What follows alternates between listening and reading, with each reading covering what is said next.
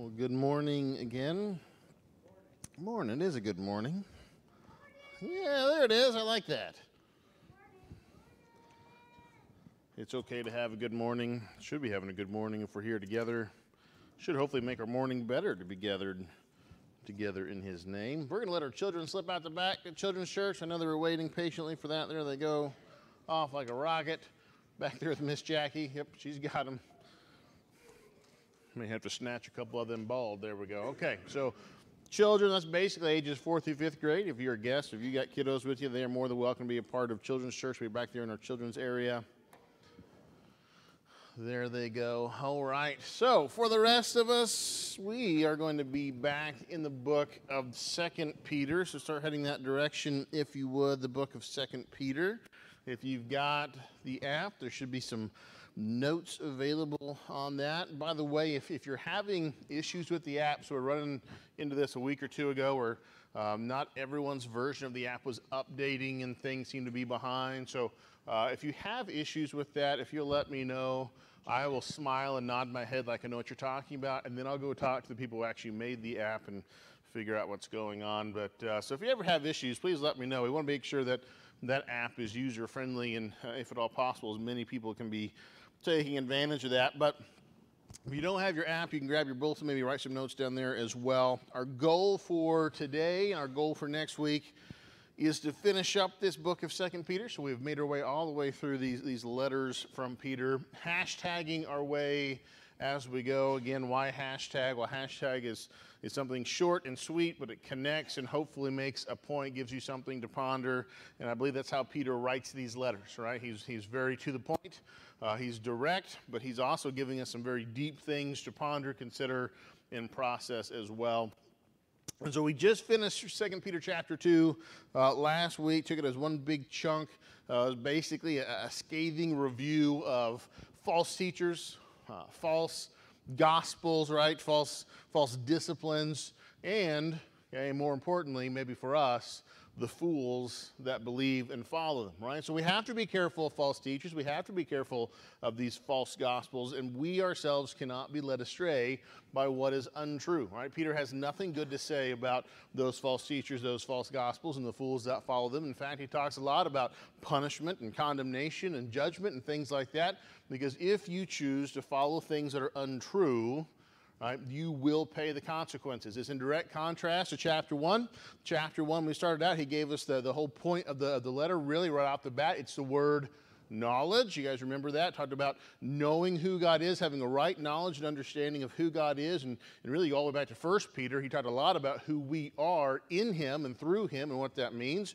But in Second Peter, he's talking about knowledge. He's talking about growing. He's talking about wisdom, which is the, the just application of that knowledge. That is Peter's desire for the church is not to get distracted right? Not, not to find something else shiny in the world or even inside the church that would take them away from the true gospel, but to focus on the Word of God, dig deep into it, grow in knowledge, grow in all those things you talk about perseverance and self control and brotherly kindness and all these things we've talked about, and really mature and produce fruit and be the kind of person that God has made you to be. He wants you to grow, He wants you to mature and not get sidetracked. Peter, I believe, is very practical right? So he's going to tell you this is what you got to do, this is what you're called to do, this is what you don't do, and this is who you don't follow, right? He's going to do that again, I believe, today and this morning as we get into chapter three. He's going to kind of connect what we've talked about in chapters one and two, right, with a new concept that's uh, really it's something that's it's universal. It's going to affect everyone inside the church, outside the church, right? But it does have kind of maybe some some special warnings and implications for us spiritually as well. So he's going to tie it back to a little bit to what happened in chapter 2 with the false teachers and the false gospels. And he's going to move forward to the greatest hope that every Christian should have. Now, before we get there, I thought we should start off this morning uh, with a little riddle. You guys like riddles? Okay, so to introduce our concept for this morning, I've got a riddle for you. Everyone's brain and, and thinking caps engaged here. Okay, so what is free? But priceless, right? You can't own it, but you can use it. You can't keep it, right? But you can spend it. And once you've lost it, you can never get it back. Anybody know what that is? Time. Heard that a few, few people said that. Time. Time is free. Right? I mean, you woke up this morning, so you're living, you know, on time. Some people say borrowed time, but you're, you're here, you're alive, you're functional, okay? And, and we've got some of it, but it's priceless, okay? You can't own it, right? You can't do anything to stop time or manipulate time. It's not yours to do with as you will necessarily, right? But you can use it, take advantage of it. You can't keep it, but you can spend it, right? And once you've lost it, you can never get it back. And lost time is one of the seems like the biggest regrets that people often talk about. Oh, the time that I've lost, right? The time that that uh, got away from me, didn't didn't accomplish or do what I wanted to do. And so, what Peter's going to do as he transitions into chapter three uh, I think Peter's going to give us, uh, start off with a warning. He's good about this, right? He's going to talk about this concept of time. He's going to tie it back to chapters 2 and chapters 1 there, right? And he's going to start off with kind of a, a warning about time, right? Because the truth is, time, and that word time, it seems simple. It seems like, hey, you know, we all know about time. We all talk about time. We all experience time. But time is really a rather intimidating word. And there are people who can use time to rob us of things right? There are people who know how to manipulate us when it comes to this concept of time, and it's very dangerous, both for just people in general, right, and in the world, in the culture today, but also specifically for us inside the church. So he wants to give us the right perspective on time, because that's going to help give us, again, the right perspective and focus on growth, and it's going to help us keep track and keep focused on truth as well. And so we are going to talk this morning about time. Our hashtags are going to deal with that. And so let's jump right in. 2 Peter chapter 3. Okay, and let's talk about how time is money. Who's heard that phrase? Time is money. Anyone guilty of using that phrase? Time is money, right? We know where that phrase came from? Who, who gets credit for coming up with that phrase? Anyone know? I think I told some guys at the men's dinner. According to the internet, Okay, of course, on the internet, it's got to be true. Benjamin Franklin came up with that phrase, right? And all his, his wisdom, and he was thinking about this growing nation of America and all these different things it was beginning to accomplish and all the different kind of wealth and power it was beginning uh, to, to kind of consolidate and pull together. Coined the phrase money, or our time, sorry, is money. Time is worth something, time is valuable. Okay? And so let's look at maybe how that applies with what Peter is telling us again from chapter 3. So let's go ahead. We're going to read the first seven verses and we'll go back through and we'll pick them apart this morning. So 2 Peter chapter 3 verse 1 says, "Beloved, I now write to you this second epistle, in both of which I stir up your pure minds by way of reminder, that you may be mindful of the words which were spoken before by the holy prophets, and of the commandment of us, the apostles of the Lord and Savior." knowing this first, that scoffers will come in the last days, walking according to their own lusts, and saying, Where is the promise of his coming? For since the fathers fell asleep, all things continue as they were from the beginning of creation. For this they willfully forget that by the word of God the heavens were of old, and the earth standing out of water and in water, by which the world that then existed perished, being flooded with water. For the heavens and the earth, which are now preserved by the same word, are reserved for fire until the day of judgment and perdition of ungodly men. All right, so what's going on? What is Peter introducing here? Well, first, Peter is going to go back to his, his, his kind of standard mode of operation. Peter's already told us before in the second letter that you know, he's, he's writing about knowledge. He wants to have the right knowledge. And the goal is that he would what? Be constantly reminding us of these things that is growing in knowledge through the right knowledge of God, maturing, producing fruit.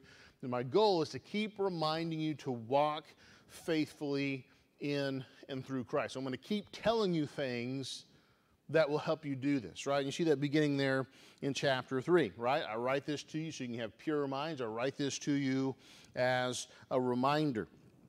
You look at some of these words in verse 2, right? This you may be mindful of these words. The word mindful in, in Greek means to have a sincere mind, right? Pure thoughts, to, to be pursuing truth. If you look at this and you take it a step back from Greek back into the Latin, the word sincere uh, means sincera. That's the Latin. Probably not saying that right, but it means without wax.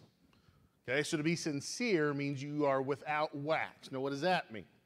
Well, back in the day, if you were in the pottery business, right, and you had a, piece of pottery that was cracked and you weren't a person of maybe reputable character, you would take that piece of pottery, you would fill in the crack with wax, and you would paint over it so that the piece of pottery looked whole. It looked good, right? It looked like it had no imperfections. But there's a way that you could tell, right, if that pottery had wax it. You could hold it up to a light source like the sun and if there was any part of that pottery where you could see light coming through, you knew that that pottery was not what it seemed. That on the outside it may have looked good and whole. The person maybe even was selling it as a good, whole, usable piece of pottery, but in fact it was patched with wax, and that wax patch wouldn't hold. Eventually it would give out, and you'd have a, a hole in whatever piece of pottery that you have. It was a test, right? It was an opportunity to be either made whole and pure or to see that there is something lacking or wrong. Okay? And Peter says, Listen, I want you to be whole. I want you to be sincere. I don't want there to be cracks in your faith or your theology so that people can come in and use that to their advantage against you. So, as we go through this word, as we go through these promises, he goes through these reminders and growing in the knowledge of God, we do this so that we can eliminate any cracks in our faith or understanding our theology again. So people cannot come in, right? So we have an enemy that won't come in. So we don't have a flesh, you know, sin nature that won't come in and try to expose that and use those cracks to their advantage. This is important. This is this is good for us. Right? So this is how we start out. Again, it's a reminder. We just spent a chapter talking about what? False teachers, false gospels, right? Again, foolish people that follow them Okay, he's probably kind of making that connection. If you're following false teachers and false gospels, you're full of wax. Okay? And so you need to check yourself. You need to make sure you, you are walking the way that God wants you to walk here, right? And so again, he gives them that reminder. Peter's always doing that. And then we see he's going to give them kind of the next thing to be aware of, right? Grow, you know, grow in knowledge, mature, produce fruit, watch out for false teachers, false gospels, foolish people, Okay? And then there's going to be these people come, they're going to be scoffers. Right? What, what are scoffers scoffing at here? Verse 3 knowing this, that scoffers will come in the last days walking according to their own lust. Well, says, make sure you understand this. The people who are going to be saying what I'm about to say and scoffing and, and, and, and coming in and, and, and producing these lies, they're doing it for themselves in their own lust. Right? But here's the topic that they bring up. Now, the reason I have to believe that, that Peter would bring this up is this must be happening inside the church, must be an issue. Right? I mean, I read this, uh, read this uh, uh, initially and thought, well, okay, this is, you know, this is good. We talk about this, and uh, obviously Peter felt it was important. You know, is it still important today? You read through it at first, you might think, well, you know, maybe not, not, not so much. But as Peter begins to flesh it out and is beginning to think about it, and hopefully the Holy Spirit is leading you, I think this is maybe even a bigger problem today for us than it was back then. Because what are they scoffing at? What are they saying? Again, Peter wants their the, the, the true believers' thought and, in, in heart and theology and all this to be whole and clean and pure and sincere. He said, but people are coming in. Here's kind of the, the cracks that they're trying to expose. Here's what they're saying. Where is the promise of his coming? Now, who's he talking about here? Jesus, right? What is the Christian's what is the Christian's greatest hope while they're here on this planet? Yeah, so so Christ came. We had the first Advent. We're celebrating that this this season. He came, right, and, and, and he died for our sins, and, and, and he made a way for us to be redeemed. Then he returned back to the Father, and the promise was that he's coming back. And inside of that promise, right, inside of that promise is our hope that He will finish that redemptive process and take us home to be with Him and the Father and the Spirit forever. And so to have hope that Christ is going to return, that this world is going to end, is paramount and foundational to a right understanding of who God is, His promises and His Word, right? And who we are and, and how much we mean to Him. He loves us so much, He came, but not only that, He's going to come again to make sure that we are with Him forever in eternity. How important is that? It's important, right? And so the false teachers here are looking to attack time, right? They said, listen, he said he was coming back, but, you know, by my watch, he's not here, right? Since the Father, since the foundation, things just keep, they just keep moving. They just kind of keep going on. Now, now why would we, why, why would this idea, this attacking of, of time, be such an issue inside the church? Why would Peter take time to address it? Begin to think about time, time in our own culture. Time is money. Time is valuable. Time is, time is important. Time is a means and a measure of control. Right? Amen. Right? Think about it this way you go to work, you get a paycheck. The size of that paycheck is, is oftentimes determined by what? How many hours you work. They're going to pay you for a certain amount of time. If you want more money, you have to do what? You got to put more time in. Okay, I had a couple of doctor's appointments on, on Friday. Right? How many guys love going to doctor's appointments? Okay, praise God. Okay, got to get up, got to drive 30 minutes, got to wait in their office, got to be there by 10 o'clock because my appointment's at 10 o'clock. And you know what that means? I will see the doctor sometime about midnight. So, okay, yeah. So you know, it seems like their time is maybe more important than mine, or so I don't know. But I got to be there by 10. That's my appointment, right? And then I had physical therapy. Got to be there by 11. Okay, that's my next appointment. And I have to pattern my life around their time. Okay? And even as we get older, but having lots of conversations, uh, I don't feel like I'm old, but then I have conversations like this that go something like, you know, Christmas doesn't feel like it used to. Anyone ever say that? I feel like three conversations just a year ago. When I was a kid, Christmas was fun. And we were like anticipating and excited and put the tree up and, and oh, what presents are we going to get? And I was like an adult and stuff. We're like, we got to figure out how to pay for presents. And someone's got to get in the shed and get that tree out, and it's probably going to be full of junk. And, you know, and so it's like, time. Time changes us. And sometimes we kind of get a little jaded by that. As time marches on, we're kind of, we're feeling worn out. I feel like time has kind of smacked us upside the back of the head, as it were. Time is powerful, right? Time is money. Time is valuable. And if someone can come in and, and manipulate this concept of time in our hearts and minds, they can gain power over us. And I think this is why Peter brings this up because they come in and say, listen, you know, the Bible says that Jesus is coming back. Peter, Jesus, Paul say these are the last days. When I think last days, I'm thinking days. How many days has it been? All right, 365 times 2,000. I don't know, do the math. All right. Now they haven't been as far out, as far removed as we are. That's why I think maybe this even becomes a greater topic of concern, more so than, than originally when I first read it and go, well, I, I kind of get why this is important. But now think about it. It's been 2,000 years. Has anyone in this room ever had a thought that goes, maybe we misunderstood maybe he's not coming back? Okay. Now I'll admit I've, I've sat in my office and kind of had that conversation like maybe we got something wrong. Maybe we misunderstood because surely Jesus what? surely he would have come back by now. Every generation that's gone before us has believed what? That Jesus would come in their lifetime. I'm not trying to discourage you this morning, but what I'm trying to do is I'm trying to show you how someone could come in and play off some of these doubts and fears. Because it hasn't happened yet, because in our estimation it should have already happened, we think something is wrong. See how that's dangerous? Anyone else see how that's dangerous? Anyone else maybe had some of these doubts and fears? It's just me up here rambling alone. I mean, I think about these things. And Peter is addressing, I, I love the astuteness of Peter.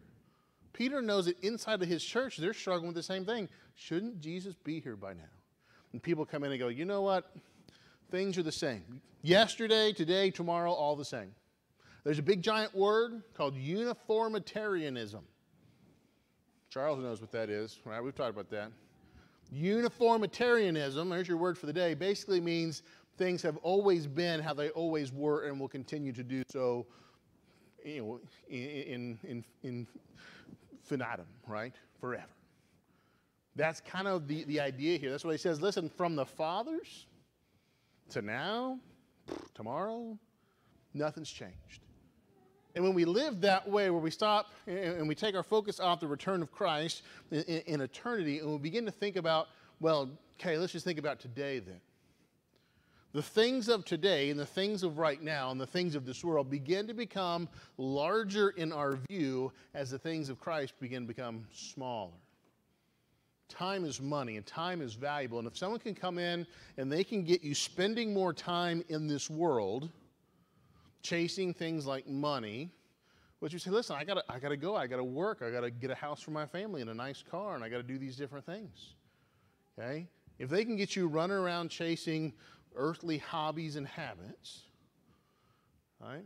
Even get you chasing just a good, simple church life. Okay, I'm going to come on Sundays and sometimes on Wednesdays, and we'll do some fellowships, and, and I'll put my time in, my time in. Okay, if people begin to, to get your focus off the things of Christ, right, and, and you know a lot of ways, tithing that time, investing that time for Christ, if they can say, listen, Christ isn't coming back. Just live your life. Right? Figure it out here and now. And I believe this is what Peter is trying to address inside the early church. And it's rampant today. What are you doing with your time? They say, listen, nothing's changed. And it's not going to change. So live your best life now. Figure it out now. Get what you can now. Right? Make sense of it now before you die. Right? Peter has something to say about that. And really, his, his rebuttal part of it comes before even he lays out what, what, what, what the falsehood is here. Right? You go back and you look at uh, verse 2, right? Talks about be mindful of what? The words, talk about this idea of being sincere in that, having a pure mind, pure thoughts of the words. What words is he talking about? Uh, uh things that were spoken before with the holy prophets. When was Jesus' return spoken about? Is it a New Testament concept? It's not. I mean, it's in the New Testament, right? But where did the second coming of Christ come from? Where is it prophesied? Where, where is it given to us? It's actually coming from the Old Testament prophets. They told us a Messiah would come, a Messiah would die, right? A Messiah would redeem his people, and that Messiah would come back. This is an Old Testament concept. Peter says, yeah, it's in the Old Testament. The fathers knew it, the fathers talked about it. And here they say nothing's changed since the fathers. Let me give you some changes. It starts with creation. Genesis 1 1. Right? In the beginning, there was what? Everyone wants to quote like John 1 1, right? In the beginning was the Word. Okay, he was there. The Word was there. Right? What was there in the beginning? Think about verse 2. Okay, the earth, and the earth was how? In what condition, what state was the earth in? Verse 2. It was formless and, and it was void and without form. It was formless. Right? It says the Spirit was hovering over the waters. The earth was not the earth we have today.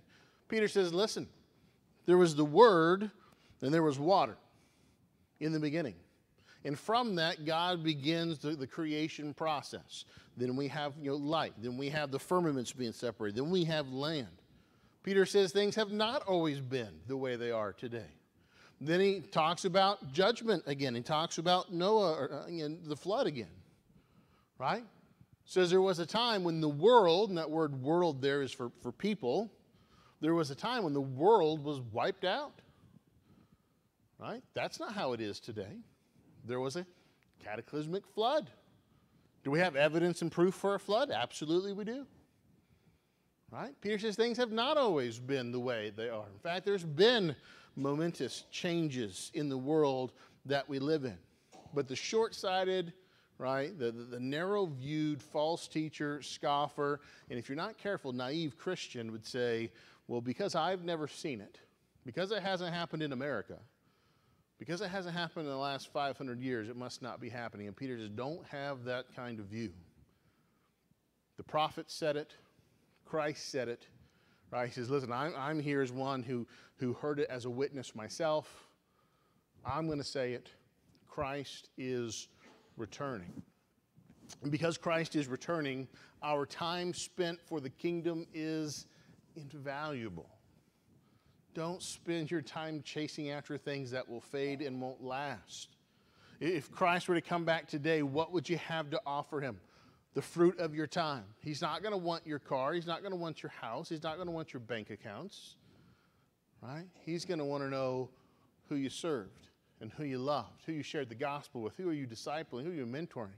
We watched a video in, in, the men's dinner the other night, and, and even the guy said this, you know, I don't know if this is good theology, but when I get you know, to heaven, I stand before the Lord, and he says, you know, well done, good and faithful servant. He goes, I half expect him to look over my shoulder and say, who did you bring with you? I don't, I think that's something that we should consider because that's the time that, that Peter and, and, and Christ is looking for us to invest in the life and the world that we live in. Yeah, you can take an extra day and, and, go to work and make some extra money. Or you could take that extra day and you could go serve someone and love someone. Right? You could take a week and go on vacation. That's, that's good. You could take a week and you could go out of country on a mission trip and spread the gospel. Right? You could come to church a couple times a month. That's good enough. Or you can be here when the doors are open and when you're needed to serve and love people. And I know it takes energy and it takes effort. But then you have to come down and ask yourself this question Where is my time best spent? And what is the most valuable use of the time that God has given me? Because time is money and time is valuable. It's best spent in the service of the Lord. Growing in Him, growing in His knowledge, the application of wisdom. All right, you get to heaven, doesn't matter how big a check you can write. It's going to matter what you did with the grace that God gave you to give to others. Time is hugely, hugely important, right? Don't let people cast doubt on, on your purpose here. Christ is coming back. You have a purpose to spread the gospel. Don't let them distract you, right? And if you're in a, a, a value struggle, know that you can never do anything more valuable with your time than to spend it serving the Lord. Right? It's kind of quiet in here. I want you, hopefully, you're processing that. Right? And this isn't Pastor Matt guilt trip wanting you to be up here do more stuff. I mean, I do. But honestly and personally for you, how are you spending the most valuable and most valuable resources God has given you, which is time? How are you spending it? Right?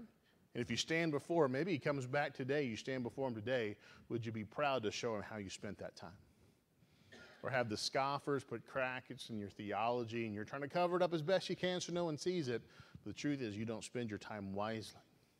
There's so much to consider with this, this idea of time. But we got to move on right? Time is valuable. Time is important, right? I believe he's trying to tie that back to those false teachers, tie that back to growing in knowledge and maturity. But Peter's going to do something else for us. And I love this about Peter. Peter is not the guy that says, listen, here it is, believe it. Don't ask questions, right? Like a parent when they say, do this, and you're like, why? And you say, well, I told you so, right? Why is it this way? Well, that's just how it is. You ever do that as a parent? I do that sometimes, right? Don't ask questions, just do it, right? Why? Don't ask why.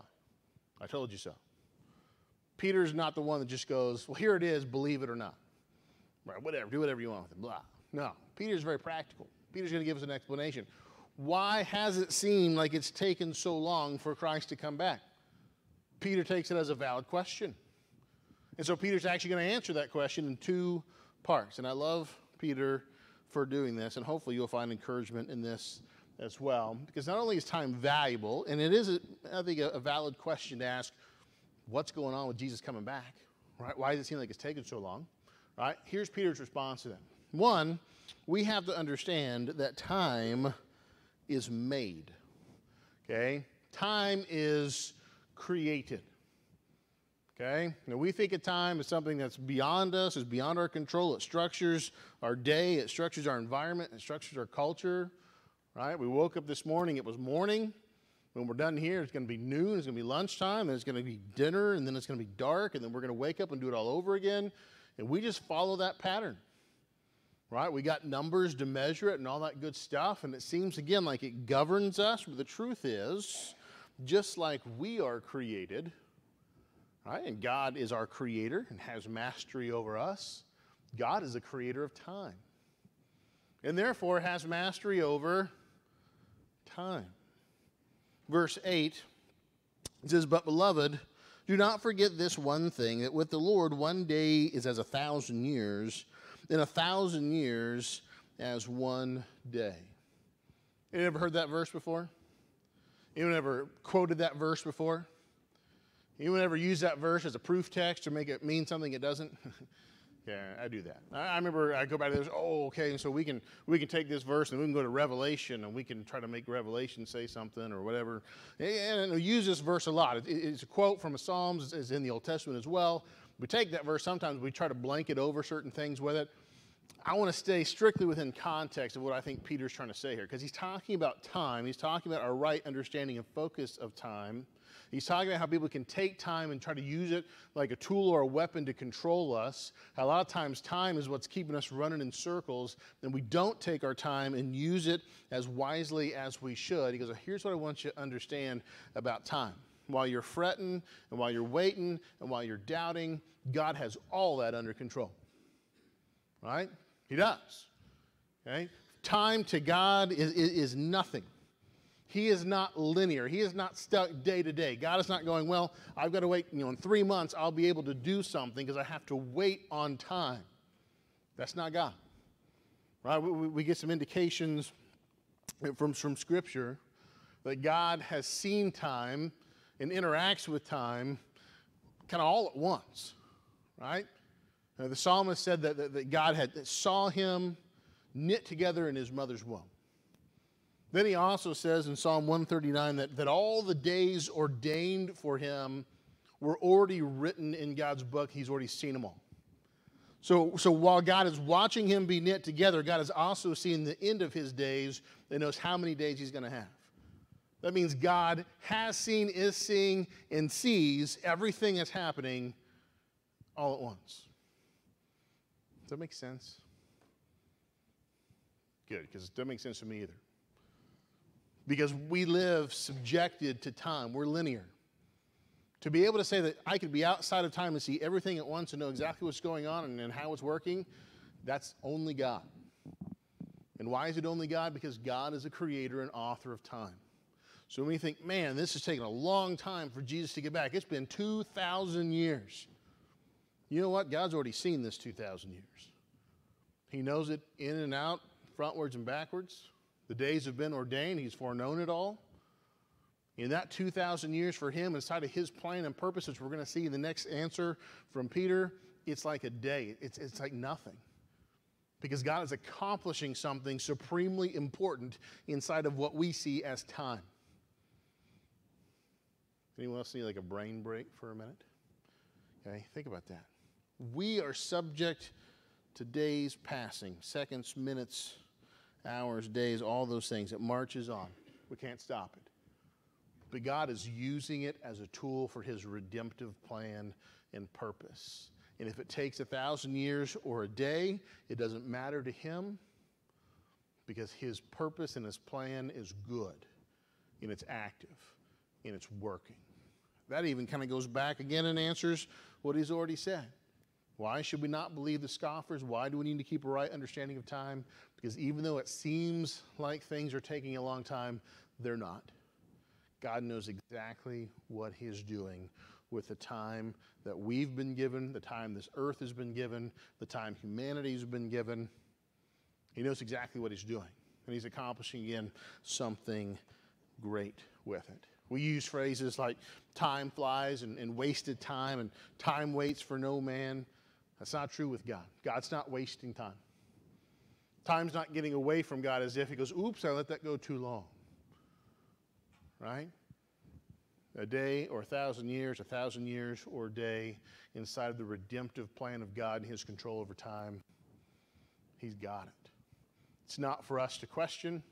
It's not for us to look at God and say, listen, let's get out of here, or I got things to do, or whatever right? The, the creation doesn't get to dictate to the creator, just like time does not get to dictate to God. He created time, He's master of it. That all goes together with his second answer. And again, this one I think really ties all together, makes the most sense. Time is made, time is created. it, it is a tool used by God. I kept saying for his redemptive plan, and here it is. Time is mercy. Right? Verse 9. The Lord is not slack concerning his promise, as some count slackness, but is long suffering toward us, not willing that any should perish, but that all should come to repentance. Peter's speaking right to what some people are thinking, maybe without saying it. Maybe you've thought some of the same things. I, I know I have. Sure seems like God is taking his time. God is, in, in effect, what we're saying is God seems to be slack in doing what he said he was going to do. God seems like he's procrastinating. Procrastinating. There's another word for the day, right? We're bad at procrastinating. Why do we think God's procrastinating? Because we procrastinate. Right? We project it onto God. Well, you know, something I should have done that a month ago, and I'm finally getting to it. And they're thinking, well, God should have, God should have sent Jesus back years ago. Peter says, God's not procrastinating. God is not slacking. God's not forgotten. God's not waiting too long. Remember Peter's whole goal, first part of chapter 3, he said it before. I want to bring you into remembrance. I want to bring you into a right mindset. I want you to be sincere in these things that when you think about time, you have a right understanding and the answer about why God is taking his time. I want you to know this. It's important. I want you to walk in this because it's going to uh, uh, allow you to endure the scoffers, right? I think for some of us, hopefully, maybe it'll even restore some of that hope and expectation that we have for Him coming. God is not slack. God is not waiting. God is not forgotten, right? In fact, He says God is long suffering. There's part of your answer right there. Why hasn't Jesus come back yet? Why do things seem like they just go on and on? Because God is long suffering. What does long suffering mean? It means exactly what it sounds like. He's putting up with us for a long time. You ever suffer with someone for a little bit? Okay? Some of you guys have patience and long suffering. God bless you. Some of us, not as much. God's been putting up with humanity for a long time. But He has a reason and a plan and a purpose. He is long suffering because He's not willing that any should perish, but that all should come to repentance. So the fact that Christ has not returned, when Peter wrote this letter, the fact that Christ has not returned for a second coming, when we have this conversation today, it, it, it's a matter, it's a talk of mercy. God desires that all men would come to repentance, to come to know Him.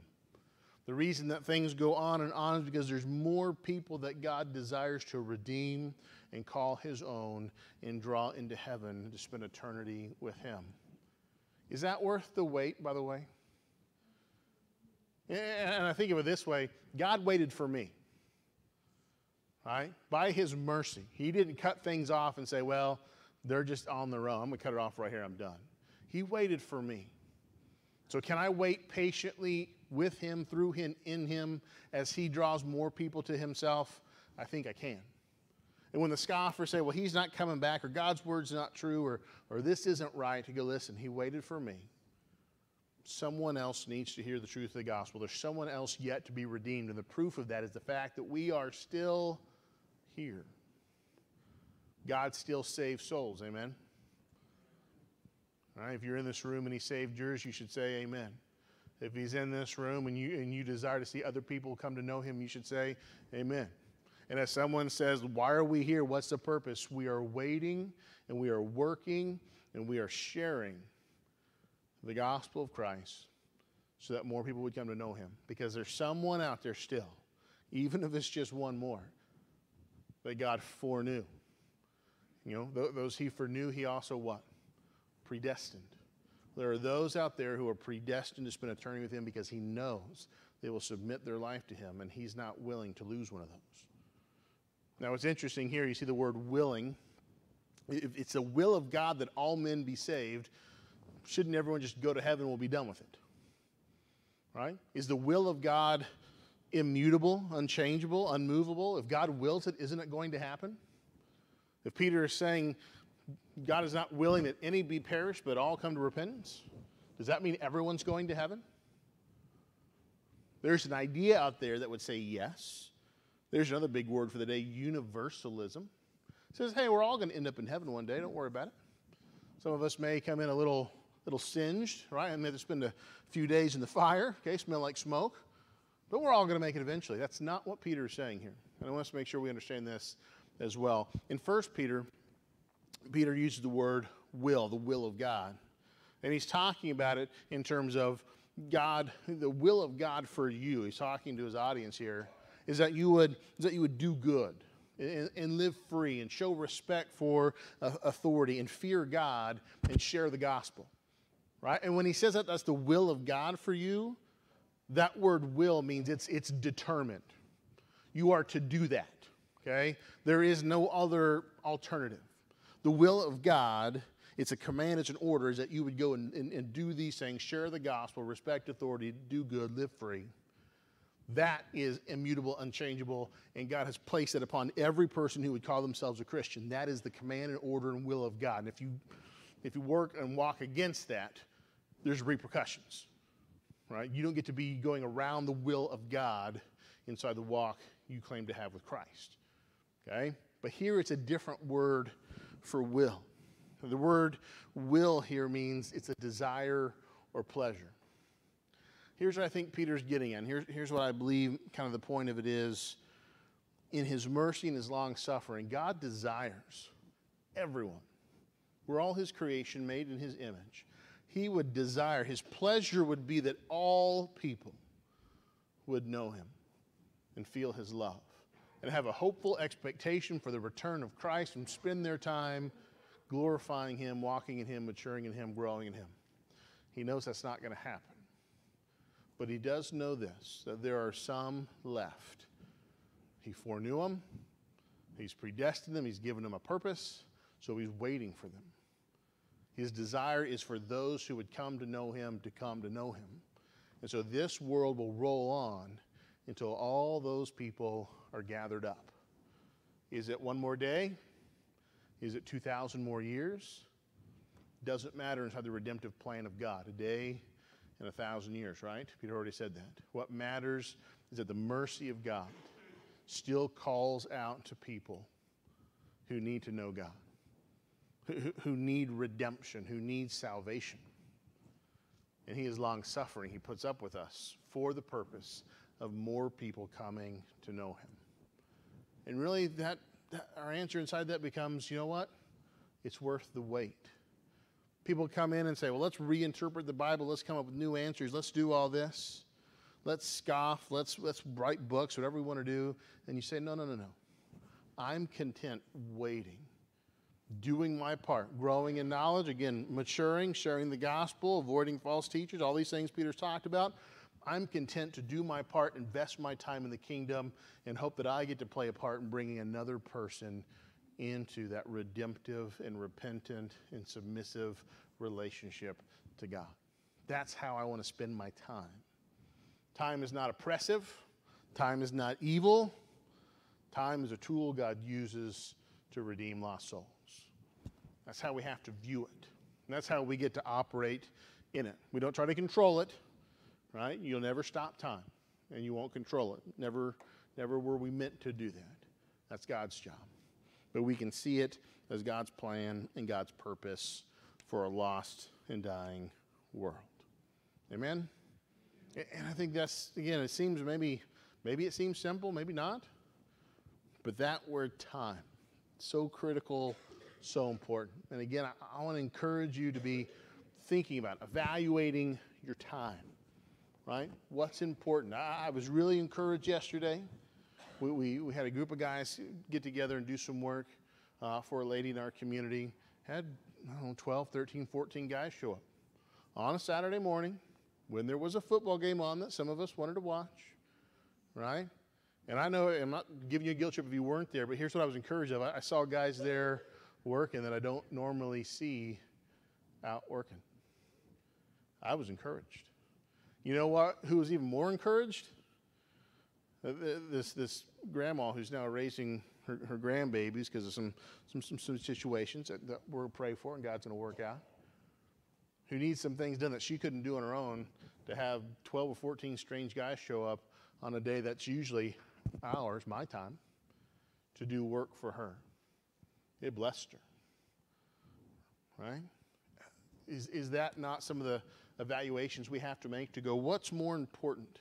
That I take an hour and again go do something over here for my for myself to make money, whatever it is, or I take that hour to go invest in the kingdom of God.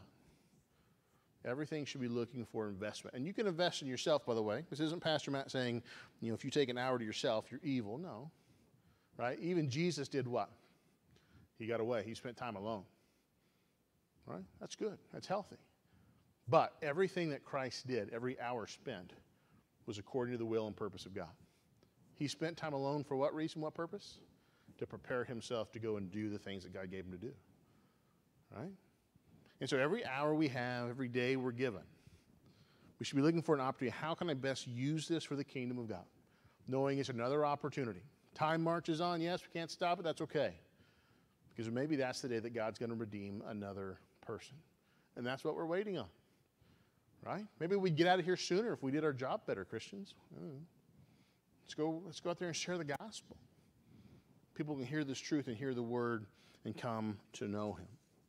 But redeem the time. How are you using your time? What is your, your, your time most invested in? And if you stood before him this morning and you had to give him your log for this week, would you be proud of how you spent your time? Or would you be ashamed of how you spent your time? When your days are done and you get to heaven, what do you expect to hear from the mouth of our Father? And will there be anybody with you going, I'm, I'm with him? Right? I think about that quite a bit. And so if you would stand with me, we're going we're gonna close it right there. We've got more to talk about in 2 Peter. The goal is to finish it next week.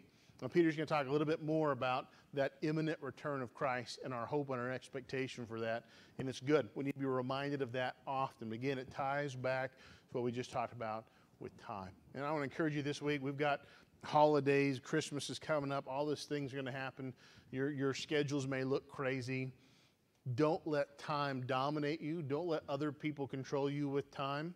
Yes, you still have to go to work tomorrow. That's not what I'm saying, right? But as you go to work tomorrow, are you redeeming that time and using that time as opportunities for Him? Are you being pushed around by time and just trying to survive? There, there's a difference. Remember, Peter wants you to grow, grow and thrive, not just survive. And so, even inside of this concept of time, how are we using it for Him? He's in control of it, He made it. He's using it as a redemptive tool as part of His plan, and God is good. Amen? And it's worth waiting for. So, if you need me, I'd love to pray with you. I'm here let's just take a moment. Maybe the Holy Spirit, hopefully, is speaking to you right now, giving you some, uh, some, some wisdom, things to apply this week. Let's have a time of prayer, of response, and then we'll close the service and be done.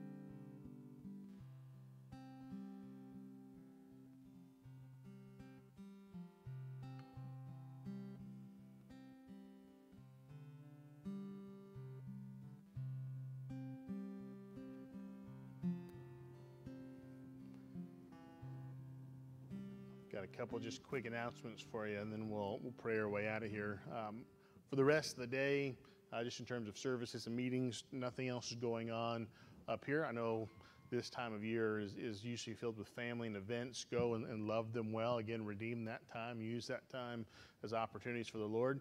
Our ladies do have their dinner tonight. They're meet up here at six, four o'clock. You'd be late if you got here at six. All right. So meet up here at four o'clock. Uh, dinner and the drive-through nativity at the boys ranch leaving at 4 so be here at like 3.30 right don't be that be that person that pulls in at 401 as the vans are like pulling out and they'll be waving at you, right? So uh, be here a little bit before that. They want to pull out 4 o'clock, uh, dinner, and then drive through nativity at the boys' ranch. If you got questions about that, find Miss Vicky. Uh, again, you can take the church vans. Is it? Okay. We'll go make sure they're not full of things real quick before we leave. Okay. Uh, Except gas. We will make sure they're full of gas. Yeah, thanks, Miss Donna. That's a good reminder. All right, so uh, opportunity, come fellowship, go do that together. Great opportunity. Um, again, nothing else necessarily going on up here. Um, check your bulletin. I know coming up next Sunday we'll have our, our business meeting. The big discussion is going to be the budget. I've had a couple people ask some questions. Haven't had many people come up and talk to me about the budget. Maybe hopefully you've been talking to the admin team or someone next year's budget is drastically different than this year's budget, right? Not to air out, you know, too much of the church's business on a Sunday morning, but, you know, giving has steadily decreased over the second half of the year. So the budget has to reflect that as we go into 2020. And so things are being cut, things are being shuffled around and moved around. And I want you to be in prayer for that. I want you to ask questions about that. I want you to be prepared uh, to discuss that. We'll have a meeting next Sunday morning after morning service. If you're a member, you can stick around and, and vote. If you're not going to be here and you'd like to vote, I think Amaziah has already made the absentee ballots, so you can vote uh, today if you need to. Uh, if you need a copy of that new projected budget for 2020, I don't think there's any copies on the on the Welcome Center, so come find me or Amaziah. We'll make you a copy. We want you to be informed. We want you to know. All right, it is different, and it, it means some things will be different for next year. Uh, another announcement we have is for the Christmas Adam service, right? Christmas Adam comes before Christmas Eve, and we're going to go out and serve on that Monday. But instead of going out in the afternoon because of food bank things, they filled up all those spots where we could reserve some. We're going to go in the morning. So we're going to probably meet up here about 8:30, 8:45 in the morning. Okay leave here probably a little before 9 so we get out there by 9.30 we're going to go and, and, and, pack boxes and help with the food bank and get all them squared away before christmas comes. Uh, 9.30 to about noon and then we're going to caravan over go eat lunch at bricktown i've heard that during that week of christmas they're going to have like the trolley rides and the, if the river stuff's going if it's not too cold i think that's all like half price or something. So we'll spend an hour or two hanging out down there try to be back at the church so everyone get back home by 2 or 3 o'clock have the rest of your day to get ready for christmas but to me, great opportunity to serve, uh, you know, in, inside of an organization that we partner with already, uh, with our, our, food pantry. So if you want to sign up for that, I think there's about six or seven spots still open. Uh, we need to sign up before next Sunday so we can confirm with Food Bank and get all our plans squared away. All right. Am I missing anything else? Any major announcements?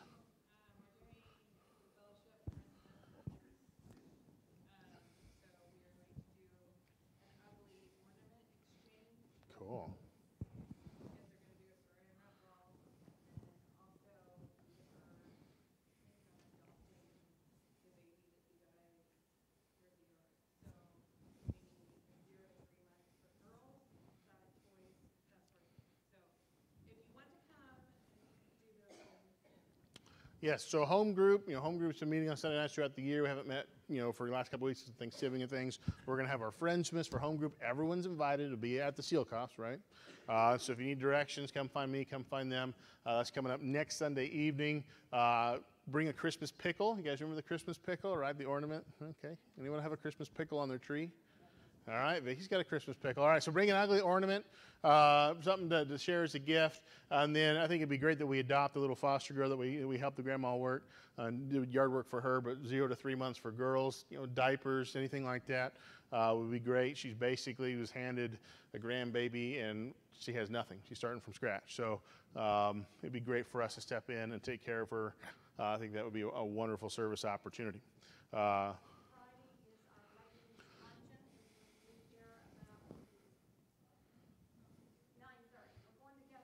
Ooh, okay. So that would be an early lunch, but to get to Guthrie, right? So Guthrie, uh, ladies' luncheon at Guthrie Friday. Leave here at 9:30. Uh, ladies are doing a lot, but men, we had our, our dinner. Uh, hopefully, you, you, know, you were there. If you're not, you missed out on some great steaks. We had a steak dinner on Thursday night, and we'll be picking up our men's stuff coming up uh, next year. Mike's not here this morning. Uh, men's breakfast. Alan, are we doing men's breakfast? All right. Okay, men's breakfast is coming Saturday, 8 o'clock next door. So don't miss out on that, guys. There's an opportunity to fellowship and eat some food.